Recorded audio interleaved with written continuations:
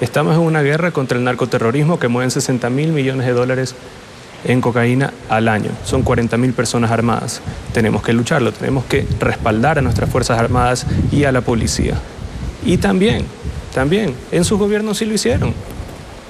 Una bancada que dice, pues es una barbaridad todo esto que está pasando. Es casi calcado nuestra reforma eh, a la de ellos del 2016. Y gente de esa misma bancada que tiene un poquito más de experiencia, como Marcela Guiñaga, eh, Pavel Muñoz, Paola Pavón, Leonardo Orlando. Ellos respaldaron en el 2016 lo que hicieron, incrementar el IVA, tener contribuciones especiales. ¿Usted confía en que ellos reflexionen, en que cambien de opinión, presidente? Yo sí creo que pueden reflexionar. Por más que últimamente pues, me dicen ahora que soy bruto y pues que no me considero una persona inteligente, pues ganamos las elecciones Eso y ha dicho el expresidente Correa, ¿no? Así lo dijo. Entonces no sé por qué la gente votó por mí. Because he's nice, because he's handsome, because something incredible.